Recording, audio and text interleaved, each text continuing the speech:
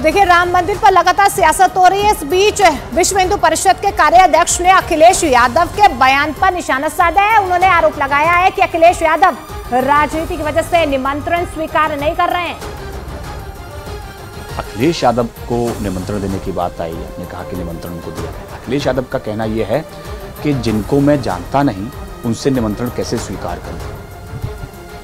ये तर्क मेरी समझ में नहीं आया।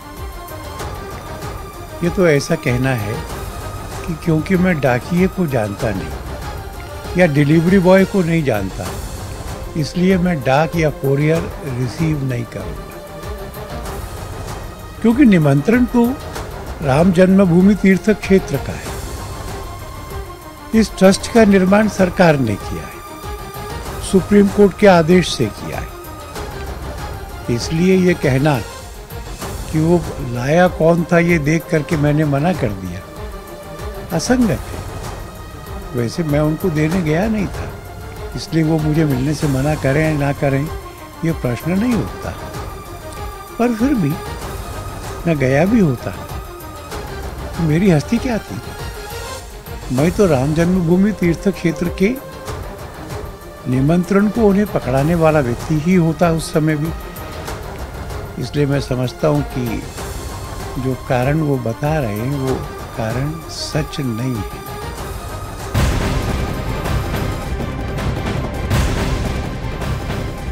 और रक्षा मंत्री राजनाथ सिंह ब्रिटेन के दौरे पर हैं। उन्होंने अपने इस दौरे पर कहा कि अब हिंदुस्तान को कोई आँख नहीं दिखा सकता।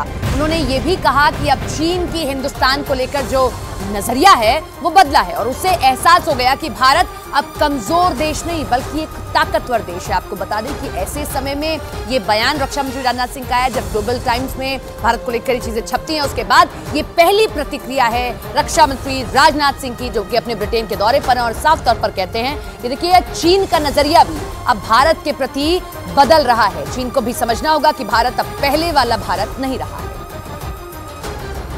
2020 में जो भारत और चीन के बीच फेस हुआ था उसमें हमारे सेना के जवानों ने जो करिश्मा दिखाया है, जो बहादुरी दिखाई है, शायद उसके कारण चाइना की धारणा भारत के बारे में बदल गई है कि भारत अब कमज़ोर भारत नहीं रहा, भारत अब दुनिया का ताकतवर देश बन गया है।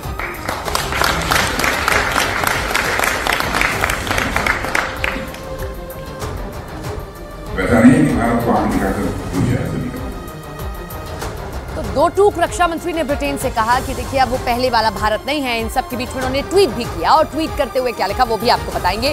दरअसल ऋषि सुनक से मुलाकात उनकी हुई और दोनों नेताओं के बीच कई मुद्दों पर चर्चा हुई और मुलाकात के बाद रक्षा मंत्री ने इंडिया हाउस में एक कार्यक्रम को भी संबोधित किया और इन सबके बीच में एक, ये तस्वीर जब ऋषि सुनक से उन्होंने मुलाकात की है लंदन में डाउन स्ट्रीट में, उस वक्त की ये तस्वीर भी उनकी ओर से सोशल मीडिया पर साझा की गई है।